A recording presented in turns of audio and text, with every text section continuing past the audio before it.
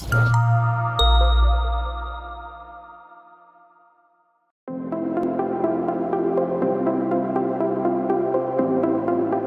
the design complexity increases, there are limits that the traditional design flow takes a lot of time and can be costly.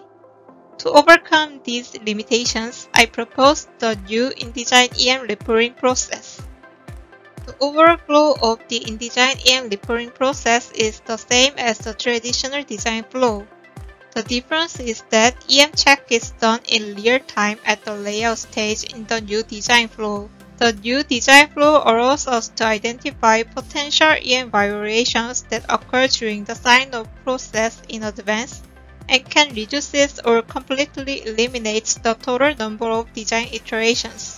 In the traditional flow, you can see the iteration that returns to the layout in the sign-off stage. The time required to modify the layout is simply indicated by arrows, which can reduce the time required for LVS RCX, post-layout simulation, and sign-off. Table shows that the part where the violation occurred in metal A wire is marked in red. If you click this part on table, you can see that the part in layout view is zoomed in and the maximum current value is annotated in the layout view. In this case, in order to eliminate the violation, metal A width was adjusted to a large value.